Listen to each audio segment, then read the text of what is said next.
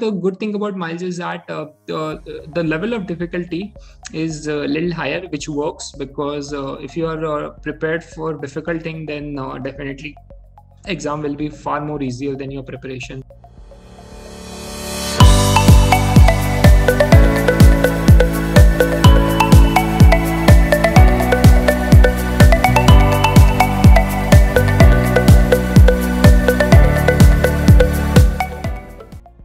Myself, Mahavir Lunawat. Uh, I work for Deutsche Bank in uh, investment banking uh, finance division, and uh, I recently uh, completed my CPA exam uh, in in June 2021. besides CPA, I'm a chartered accountant qualified in May 2000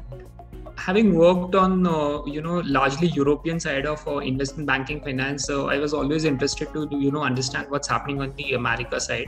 And while googling some uh, reference material uh, i came across cpa course um, and you know accordingly i got in touch with miles best thing about lms is that uh, you know uh, not only you you you get to know